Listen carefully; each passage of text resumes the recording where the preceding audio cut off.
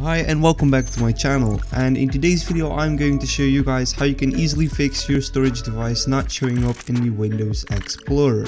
But before I show you guys how to do that please consider subscribing to my channel. On my channel you can find awesome tutorials on how to fix Windows problems and much more.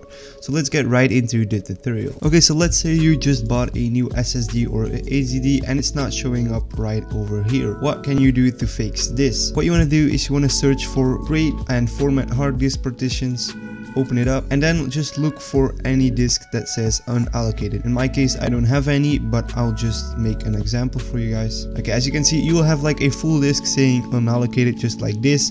It will it, it will be called like this one disk two. It doesn't really matter. Just look for the one that is unallocated. Then right click on it and you want to click on new simple volume then click on next. And then in here you want to type in the maximum disk space uh, available. So type in this number. In my case this is 14 megabytes.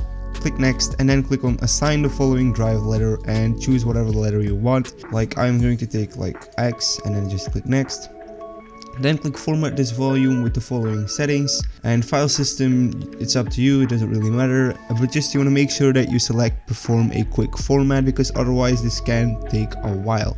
So just select this and then click next and then you're basically done. Your new drive will be um, located right over here as you can see it's uh, with the letter X. So that basically that is basically how you fix this problem. If this video was helpful please consider subscribing and liking this video. See you guys in the next video. Peace out.